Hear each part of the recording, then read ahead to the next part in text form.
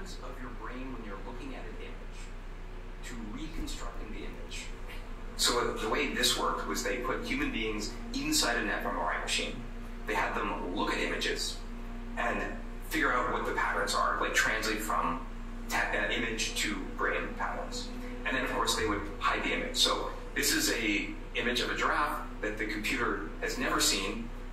It's only looking at the fMRI data, and this is what the computer thinks the human is seeing.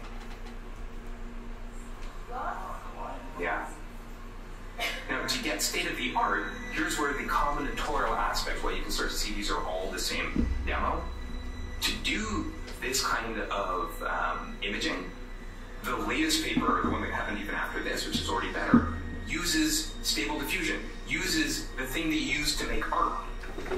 Should the thing that you use to make art have anything to do with reading your brain?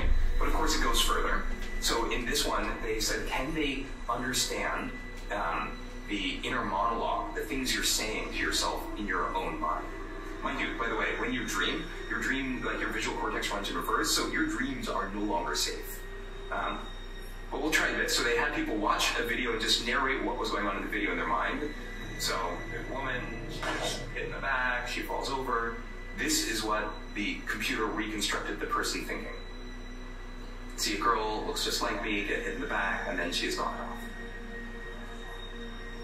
So our thoughts, like, are starting to be decoded. Yeah. Just think about what this means for authoritarian states, for instance. Or or if you want to generate images that maximally activate your pleasure sensor or anything else. Okay, but let's keep going, right? To really get the sense of the combinatorics of this. How about, can we go from Wi-Fi radio signals, you know, sort of like the Wi-Fi routers in your house, they're bouncing off radio signals that work sort of like sonar.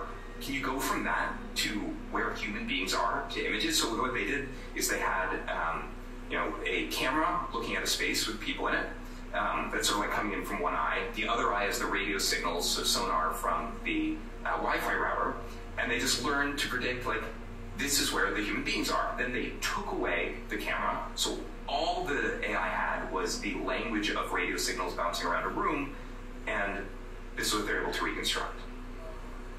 Real-time 3D pose estimation, right? So suddenly AI has turned every Wi-Fi router into a camera that can work in the dark, specially tuned for tracking living beings.